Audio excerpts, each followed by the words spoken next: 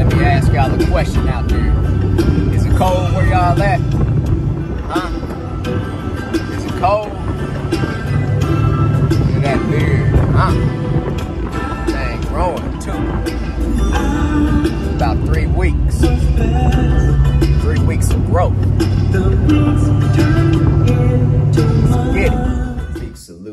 To all of my veterans out here. Big shout out to all of my subscribers, man. Like I tell you guys, I can't go a video without showing my appreciation.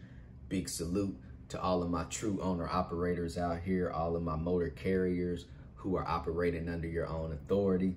This video right here is just to give you guys some quick advice, some recommendations on pretty much how you could overcome this obstacle right now that we're facing. I'm talking about the price of diesel has basically doubled since the year 2021. One year ago, the price of diesel was on an average of $2.99 a gallon. Now the price of diesel is $5 a gallon. It's projected to reach $6 a gallon within the next two weeks. So basically that price of diesel is going to double in one year. So for you owner operators out here, owners of these trucking companies, you guys know that you are only paying about a thousand or fifteen hundred dollars a week in fuel. So now you're going to be paying anywhere from two thousand to three thousand dollars or even more a week in fuel. We're talking five figures a month just in fuel costs. So of course that is ridiculous. But I'm going to tell you guys one thing about life one thing about whether it's your personal life or business, you're going to be faced with challenges and obstacles. It's all about how are you going to basically overcome, you know, that challenging situation.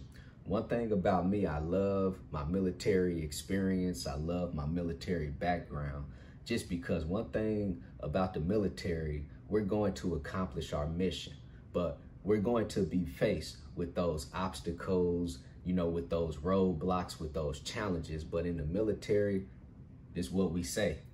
You got to adjust fire, shift fire. You have to adapt to what's going on. And then you have to sit back. You have to basically regroup. And then you plan and then you execute that new plan. Everything in life is not going to be peaches and cream, too.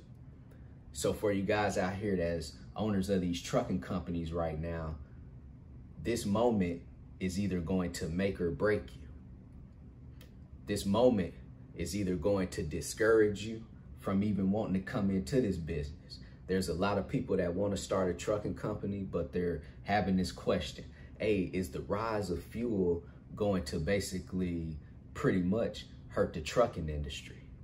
So let me show you guys and give you guys some information right now on things that I have done in my trucking business and maybe by me sharing this with you because I'm not a guy right now that's just like, oh man, the diesel prices is, you know, five, six dollars a gallon.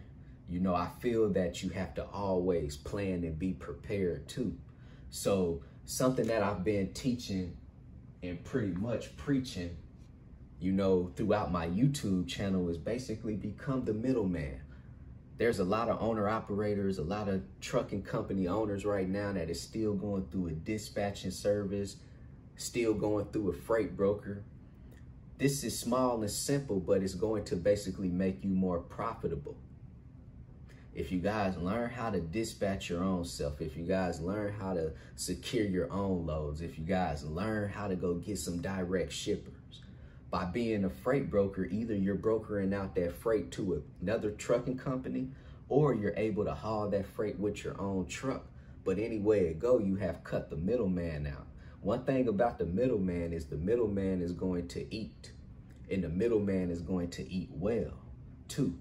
So it don't matter what type of business you have. If you're going through somebody else, just know that they're going to be making money off of that transaction.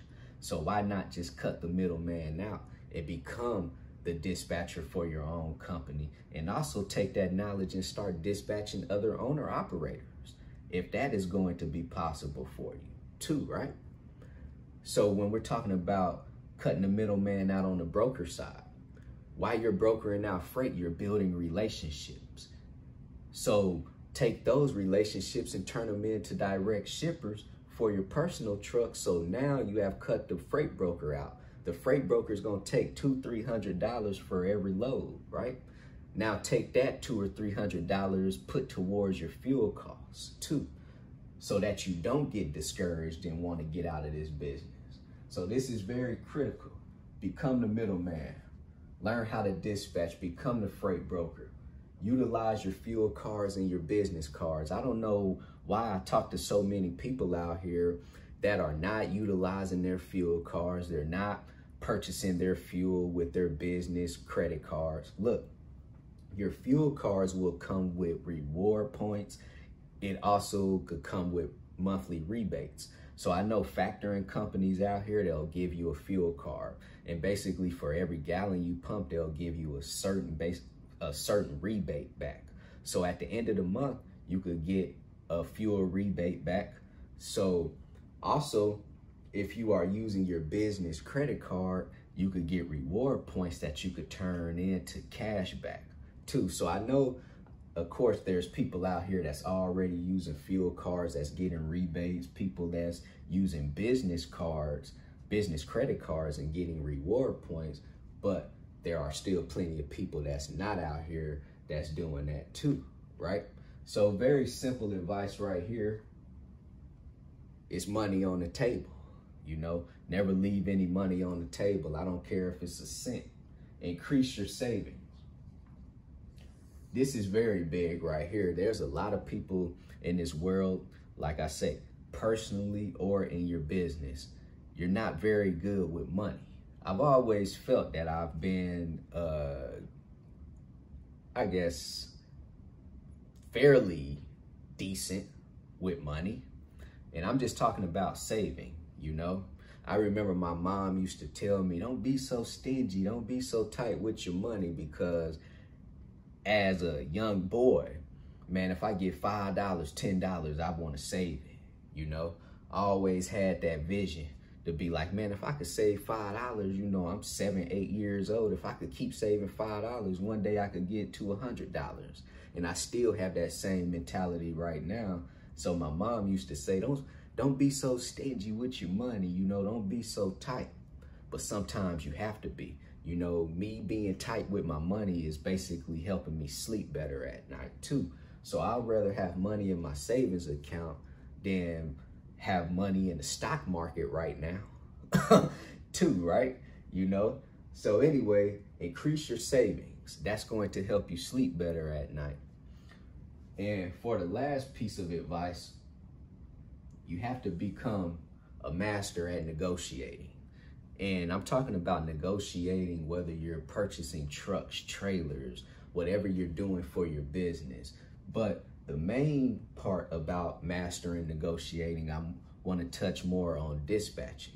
So once you guys start dispatching and cut the middleman out and you become the dispatcher, you have to start mastering negotiating with these freight brokers until you guys become the freight broker too, right?